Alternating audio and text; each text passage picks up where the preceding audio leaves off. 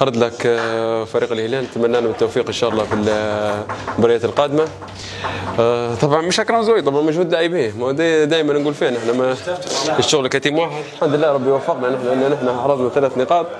زي ما قلت لك team واحد روح وحدة نلعبوا كمجموعة. الشباب كلهم ساهموا في الأهداف مش اكرم الزوي بس. زي ما قلت لك team واحد إن شاء الله نكملوا.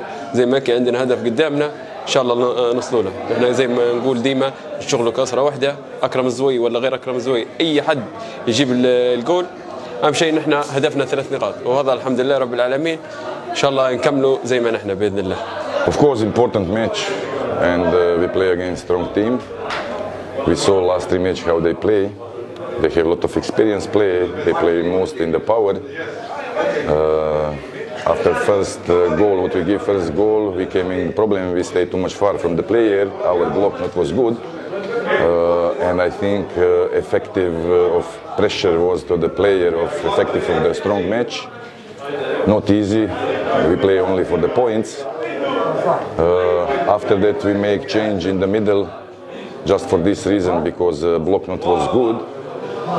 When we have one player more, they must be more peacefully pass and uh, more creative chances. In the end of story, we must be satisfied with result, but uh, we cannot be satisfied exactly how we play.